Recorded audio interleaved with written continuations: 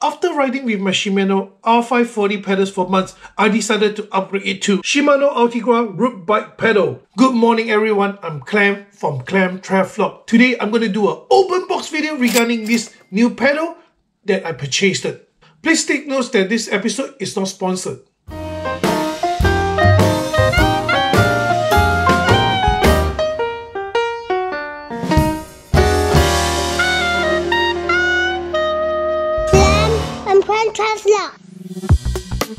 Alright, so now let's have a look inside the box.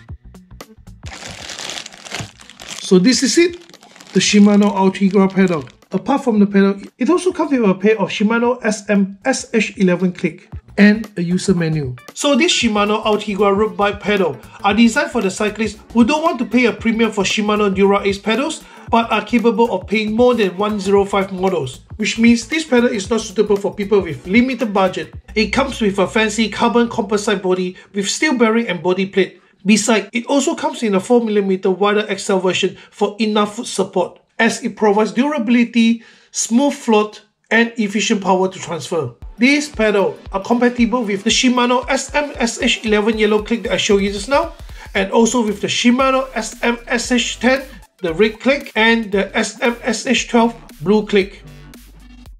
So according to the online information, it is about 20 grams lighter than the Shimano 105 pedals, but roughly 20 grams heavier than the Shimano Dura Ace pedals. Of course with another benefit. With the mononym Ultegra printed on the pedal, it provides you a classier feeling.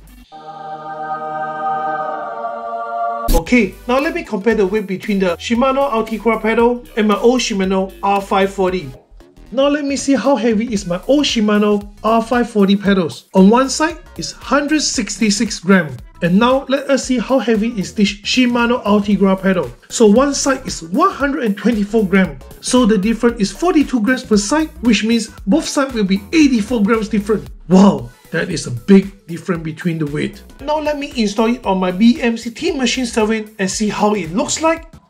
Alright, let's start with putting some grease on it. Just try not to damage the thread as well as on the crank. And now let's put it in. Nicely done. Look at that. Ultegra. Just like other Shimano pedals. You will hear the click sound and your click is in. And you twist your foot, you hear the click sound again and you're off. After all this information and installation on my bike, let's have a look how much they sell on the market. Let's have a look on the retail price of this pedal in Australia. 99 bikes is selling $249.99 but with the club price you can purchase it with $150 buybucks.com and pushys.com are selling at $149.99 one more last thing to do before this video comes to the end. Go for it right now. See ya. Bye bye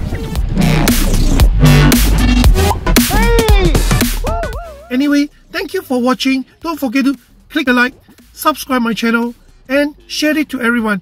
Leave a comment if you have any feedback for me.